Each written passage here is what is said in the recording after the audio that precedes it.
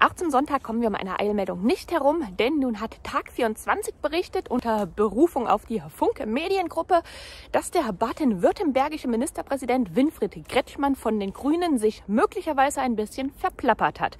Gut, so wirklich hat der Tag 24 das natürlich nicht formuliert, aber das tue ich jetzt, denn wir müssen uns mal darüber unterhalten, was der Herr Kretschmann nun zu Protokoll gegeben hat. Immer mehr deutet darauf hin, dass der angekündigte oder das angekündigte Lockdown-Ende zum Beginn des nächsten Monats, naja, mehr unter die Kategorie Zack, Verarsch fällt. Denn während nun selbst Frau Merkel ja nun das Land darauf eingeschworen hat, dass es ja noch viel schlimmer werden könnte, findet der Herr Kretschmann etwas deutlichere Worte und meint, dass auch härtere oder sehr harte Maßnahmen nicht ausgeschlossen werden können. Was er damit nun meint, das hat er nicht mitgeteilt, da kann man jetzt ein bisschen spekulieren. Denn was ist denn noch härter als de facto Berufsverbote für große Teile der Bevölkerung, für ein Wegsperren, eine Freiheitsberaubung von Millionen von Menschen und sogenannten Kontaktbeschränkungen? Da bleibt nicht mehr viel. Letztlich gibt es als noch härteres Mittel eigentlich eigentlich nur noch die Abriegelung irgendwelcher Städte, vielleicht sogar des ganzen Landes. Das bedeutet Ausreisesperren wie in der DDR oder die de facto Inhaftierung der Menschen in ihrer eigenen vier Wände. Äh, in ihrer eigenen vier Wände. Ja, auch das erleben wir bereits, aber schlimmer geht immer. Das bedeutet, im allerschlimmsten Fall kommen die Damen und Herren Politiker bald um die Ecke und sperren die Menschen tatsächlich ein, wie das in gewissen autoritären Systemen bereits vonstatten gegangen ist in den vergangenen Monaten. Aber es gibt einige Zitate, die ich mit euch besprechen möchte, denn auf die beziehe ich mich jetzt auch, die lassen so zumindest bei mir die Alarmglocken schrillen. Die Funke Mediengruppe wollte vom Herrn Kretschmann wissen, wie es denn eigentlich mit Weihnachtsmärkten in diesem, äh, in diesem Jahr aussieht. Daraufhin meinte er, das ist leider, das hält er leider für ausgeschlossen. Dann kam die Frage auf, wie sieht's denn mit Silvesterfeiern aus? Und daraufhin antwortete er, haltet euch fest, damit warten wir besser, bis es einen Impfstoff gibt und die Bevölkerung auch durchgeimpft ist sacken lassen. Damit warten wir besser, bis es einen Impfstoff gibt und die Bevölkerung auch durchgeimpft ist. Ist das möglicherweise ein dezenter Hinweis darauf, was unsere Bundesregierung, beziehungsweise er ist ja nun Ministerpräsident, aber die liegen ja alle im gleichen Bett, was unsere Damen und Herren Regierungspolitiker denn unter Freiwilligkeit verstehen? Bisher gilt es ja als, ja gut, das hatten wir schon hundertmal besprochen, bisher gilt es ja als Verschwörungstheorie, wenn man meint, naja, hey, das wird wohl ein Zwang durch die Hintertür. Da kommen dann immer die Damen und Herren Drolle um die Ecke und meinen, hau der Jo, der Spahn hat doch gesagt freiwillig. Zitat Spahn, da wo Freiwilligkeit zum Ziel führt, braucht es keinen Zwang. Impliziert ebenfalls, ganz so freiwillig wird es wohl nicht sein, denn was ist denn, wenn nicht genügend Leute freiwillig antreten? Dann kommt doch der Zwang. Wie gesagt, da kann man jetzt interpretieren. Auf, die, auf das Zitat eines Herrn Kretschmanns allerdings, wenn man das noch mit, mit in Betracht zieht, dann zeichnet sich da ein, wie ich finde, äußerst düsteres Bild.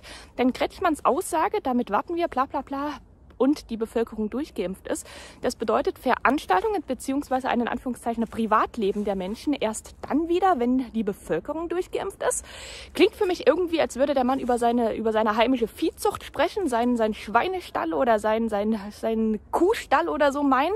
Aber der spricht über die Menschen in Deutschland, über 83 Millionen Bürger. Die dürfen wieder feiern und Spaß haben und am öffentlichen Leben teilnehmen, wenn die Bevölkerung durchgeimpft ist. So, ist das möglicherweise die neue Freiwilligkeit? Wir machen so lange Drangsalierung, Drangsalierung, Drangsalierung, noch härtere Maßnahmen, bis dann alle brav durchgeimpft sind? Eventuell. Also ich meine, das ist ja dann auch kein Zwang, ne? Ist halt nicht unbedingt das, was man unter Freiwilligkeit versteht, gemeinhin. Aber es ist zumindest kein Gesetz, Gesetz äh, Gesetzes, äh, kein gesetzlicher bußgeldbewährter Zwang. Klar, jetzt kann man natürlich wieder meinen, da ist vielleicht ein bisschen viel rein interpretiert, aber schauen wir mal, schauen wir mal an, was der Mann noch so mitgeteilt hat. Denn das Thema härtere oder sehr harte Maßnahmen bezieht er darauf, dass man damit darum nicht umhinkommt, wenn denn eine rote Linie überschritten ist. Wie sieht die rote Linie aus? Offensichtlich die angeblichen 50 Neuinfektionen auf 100.000 Einwohner. So, die kann man sich nun leider zurecht testen, wie man gerade Bock drauf hat. Erst recht in der ohnehin saisonalen Krankheitswelle, die jedes Jahr auftritt. Deswegen möchte ja nun selbst das Robert-Koch-Institut neben vielen, vielen anderen Ärzteverbänden beispielsweise endlich eine Abkehr von diesem, wir testen alles, was nicht bis bei drei auf dem Baum ist, hinzu, wir gucken nur noch, wenn denn jemand Krankheitssymptome zeigt, was hat er denn nun wirklich für eine in Anführungszeichen Infektion. Ich habe weiterhin gelesen, dass es wohl in den letzten Wochen zu viele Verwechslungen zwischen Zombie-Seuche und, und Erkältung gab. Das soll wohl auch ausgemerzt werden.